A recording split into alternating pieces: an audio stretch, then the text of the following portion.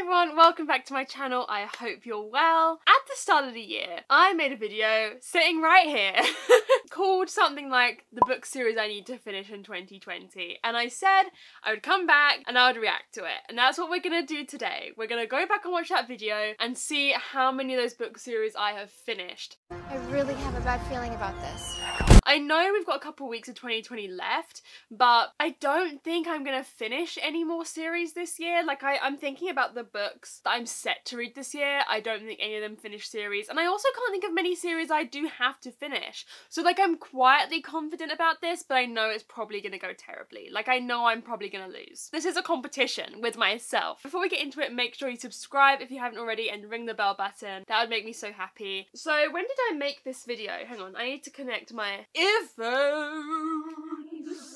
This was posted February 13th. Let's start. Spoiler alert, people die. Oh, But I'm like, oh, it's lighthearted. not gonna talk about a book series yet, but it's already not started off great. Hello everyone, welcome back to my channel. Thank you as always for being here. uh, today we're going to be. Oh, okay. First things first, I was like way too nice. I feel like in all of my earlier videos, I was always too nice. I feel like in the past couple months, I've been able to show even more of me and like sarcasm and stuff. I just feel like in these earlier videos, I'm a bit more softly spoken, and now I'm just like, ah!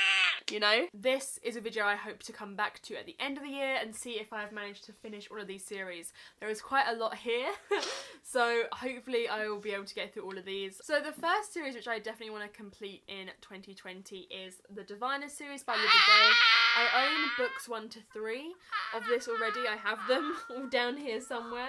And uh, book 4 is just about to come out when I'm filming this. It's not out yet. I liked this quite a bit. I gave it 4 stars, the first book in the series, but I've heard a lot of people say that it improves as it goes along. Okay, we're just gonna stop that there for a second. So I have read the first three in the series this year. Like I, I have at least done that. I had read the Diviners at the time of this video. I gave this four stars. I gave Lair of Dreams, I think like a 4.5 or a 4.75. It was very close to being a five. And then I gave Before the Devil Breaks You, I think like a 2.5 or was that just me being harsh? Maybe it was a three. Before the Devil Breaks You was just such a disappointment for me because Lair of Dreams had been so good. I feel like the series lost a lot of what made it so good in this one. A lot of the characters just went on weird tangents. A lot of the characters we'd become really attached to in books like Lair of Dreams left. Like they just weren't, they were still there, but they just weren't important, notable. Remember that? Mm-hmm. Yeah.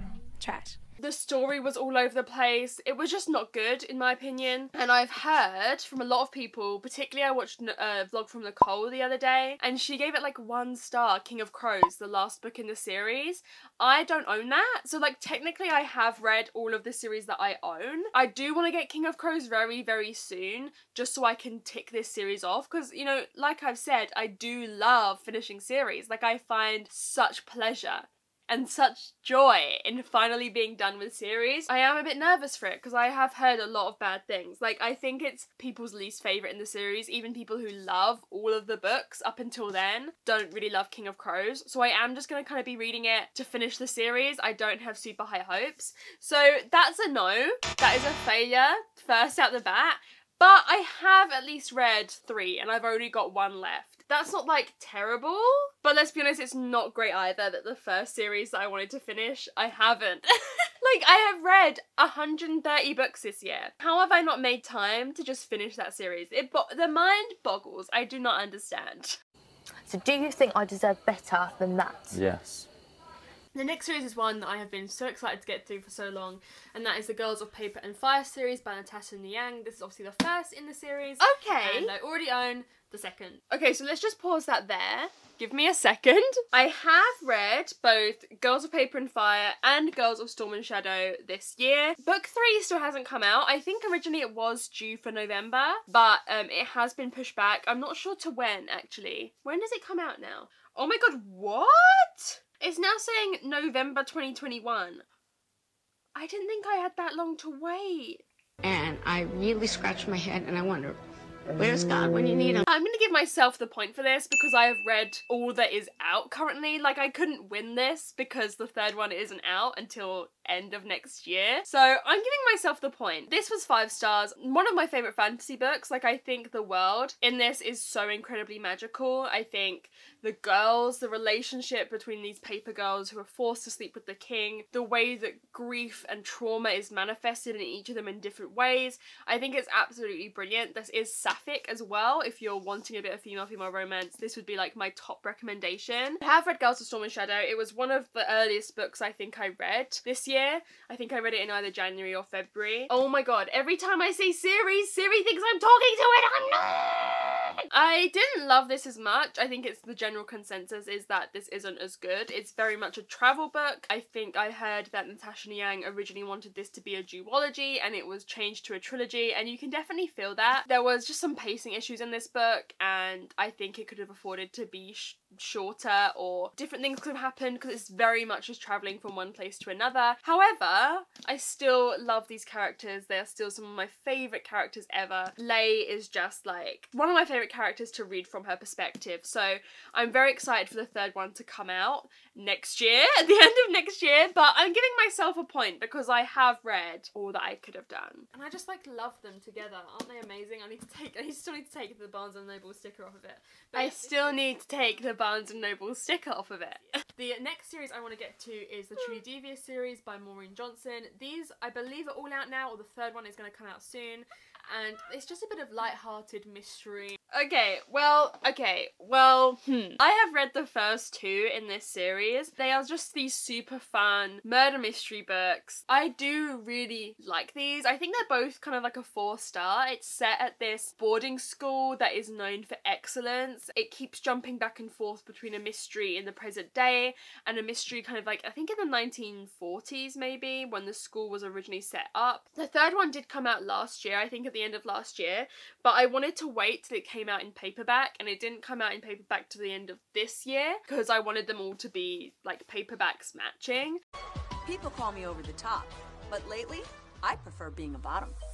I think it came out in like November, and since then I've been on a book buying ban. I will read it almost as soon as I get it. Like, as soon as I buy it, I will read it. It's just that kind of book. This series are just so easy to pick up and to read and to enjoy. They're really something that's great when you're. We're going to pretend we didn't see that. We are going to pretend we didn't hear that. So I am excited to read the last one. I just couldn't justify buying it. I was on a book buying ban once it came out in paperback and I've got so many books that I don't need it, but I do definitely want to get it. I just haven't had a lot of time in terms of waiting for the paperback to come out. It only came out a couple months ago in paperback, so I haven't had much time to buy it and read it. So it will happen, but that is yet another failure. So uh, it's not going well. Okay, the next series I really want to get to is the Renegades series by Marissa Mayer. I, I'm holding the second book in the series up because I prefer it in terms of the cover to the first one because I have the pa- English paperback for the first one. I haven't finished it. So, I do just need to finish this series. Oh my god. The issue with this is, again, is an issue of buying it. I want the hardback, right? I want the hardback so it matches this because I hate this. And the thing is that the paperback doesn't even match this anymore. But the only place that I can buy the hardback is Blackwell's, which is like a bookshop in the UK. And like it's only $13.99. Like I should just do it, but I find it really difficult to buy books. Like I know probably if you see like regular book hauls on my channel, you're like, she buys books all the time. But I actually don't. Like I, I only really buy them nowadays for videos or on a spur of the moment trip to Waterstones. The majority of those book hauls are very luckily books I've been sent. I'm very blessed that you guys send me books very often or I'm sent books in book box subscriptions or stuff like that. And so I don't actually buy that many books. I should probably just do it. In fact, I might even just do it after this video because it's only $13.99 and I know I should just do it. So this is all about superheroes and basically in this world you have like the good guys and the bad guys and our protagonist Nova, she was raised by the bad guys. Her uncle was like the ultimate bad guy. Oh, we all like a bad boy though, don't we? Yeah, not a fucking terrorist, though, Chris.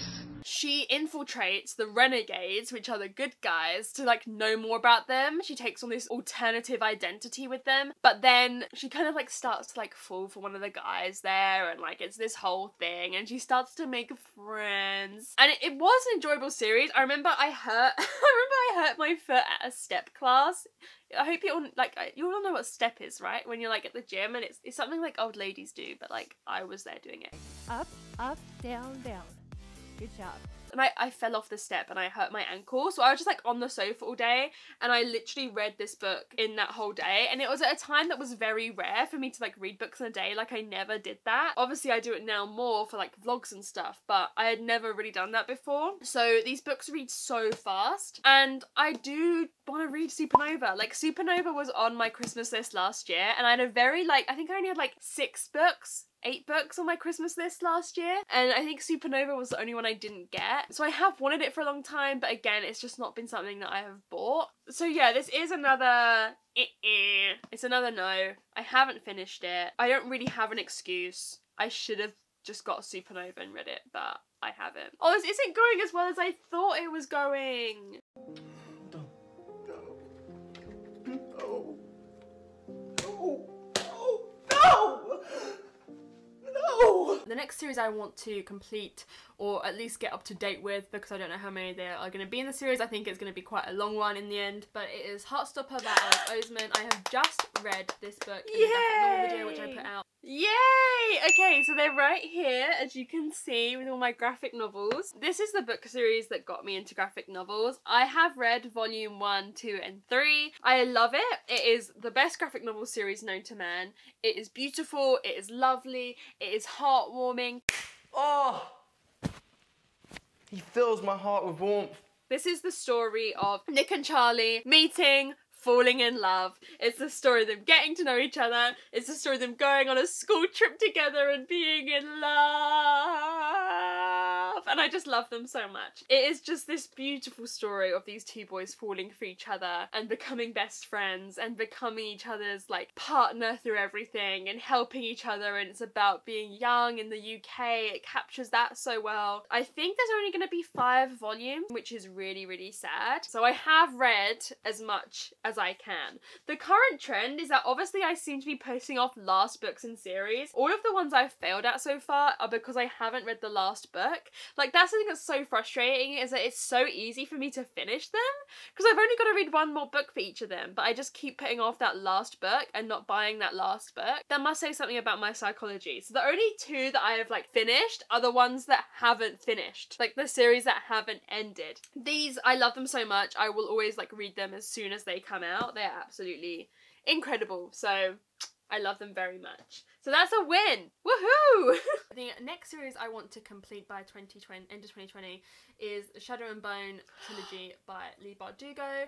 I enjoyed this. I gave Oh! it three stars. I didn't love it. Okay, so I have read this entire series. I've read Shadow and Bone, Siege and Storm, and Ruin and Rising. I didn't really like these. I think I gave it three stars, 2.752, maybe?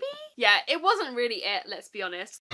It's not for me, Mark. This is the story of Alina, who is like a sun summoner, so she can like summon light. She's like a human torch. and it's the story of like war and the Darkling, who is this very powerful man, and Mal, who is Alina's like kind of boyfriend, and he's like not it. Oh my god, I just can't stop my eyes rolling when I think of Mal. I'm glad I read it because now I can get on to Six of Crows and Crooked Kingdom. I still haven't read them. I read this series for the sole purpose of like feeling like I read this before I read Six of Crows and Crooked Kingdom. You don't have to, but a lot of people said it helped with the world building. But like I've left it so long now that I think it didn't even really matter. Like I think I didn't even need to do that. I think I'm going to be reading Six of Crows and Crooked Kingdom sometime early next year. I've been meaning to do a video reading them because I'm going to do a soul video for them. I've been meaning to do it for months. It just kept being pushed back. I'm very excited for the Netflix series. Ben Barnes could like I think he should just play every character in the history of the world. I love him. I adore him. I'm just happy that I've read a book series. Why have I finished this and not Supernova or King of Crows. Like, why did I do that? Why did I actually read the one I was enjoying the least? I think I just wanted to get it out of the way and get it done. But why did I do that to myself? Genuinely. For me, the real reason that I want to get through this series is so I can then get through Six of Crows and Crooked Kingdom. I cannot wait to get to these. I've obviously heard such amazing things about them. I'm really hoping I'm able to read all four books that enable me to finish these by the end of the year. Well, you didn't. Oh, okay. Well, we've got to count that as a series. I have not read Six of Crows and Crooked Kingdom. Why would I put that on there when I hadn't only read Shadow and Bone? Why would I do that to myself? Oh my god! No, I haven't read them. They're over there. I'm not even gonna pick them up. Like I'm not. I can't even look at them. Like I, I can't. I can't even look at them. I haven't read them. Are you not ashamed of yourself? Are you not embarrassed? This is really embarrassing. Okay, I'm sorry, Six of Crows and Kingdom. I didn't read you. I will soon. I've wanted to read them like the whole year. I just haven't got around to making that video. Uh,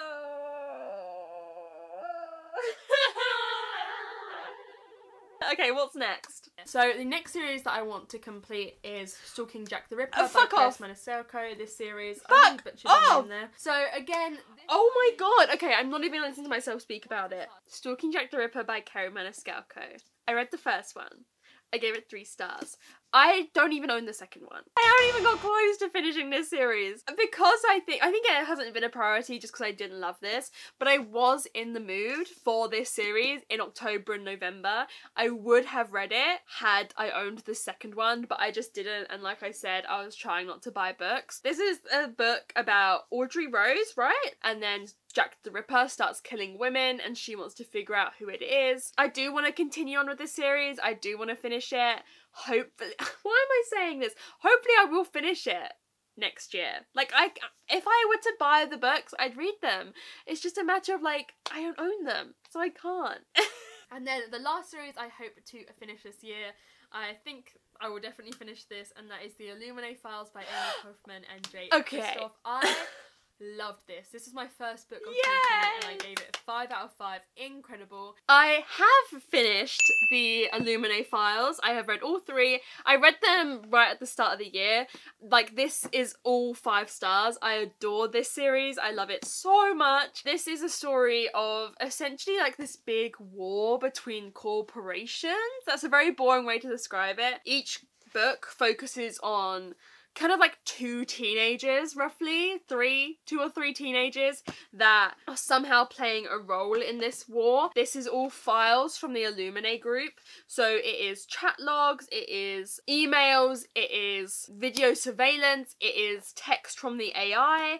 And so it is just told in this really unique way, especially especially at the end of the books. Like there's all these it gets really cool. I loved this series. I really want to reread it. It's one of my favorite series of all time. All of my family have finished this series in this time. Like I'm pretty sure I think my mum and my dad have both read all of the series and I just adored it so much. It is amazing. So I would really recommend you go and pick this up if you haven't already. So the final ah, God, this is laughable. Hey, Flop. girl, you have done it again. Constant Lowering. the bar for us all. The final count for have I finished the book series I was supposed to finish this year? I finished Four. I haven't finished how many is that? Is that five? Haven't finished five. Well done me. that is so terrible. Yeah, he's terrible, Your Honor. He's really terrible. Oh no. That's really bad. Oh well, we just have to live with it. Like I said, a lot of them I'm only like one book away from finishing it, so I should be able to finish quite a few of these series next year, maybe early on next year. Maybe I could push myself to finish these. Maybe I'll do a reading vlog saying like finishing series some point at the start of next year. Let me know if that's something you would like to watch. If you have gotten to the end, is there a laptop emoji? If there's not, maybe one of the cameras. I don't know. Laptop or camera. I hope you enjoyed this video. I will see you very, very soon with another one. And until then, I hope you keep well. Okay, bye!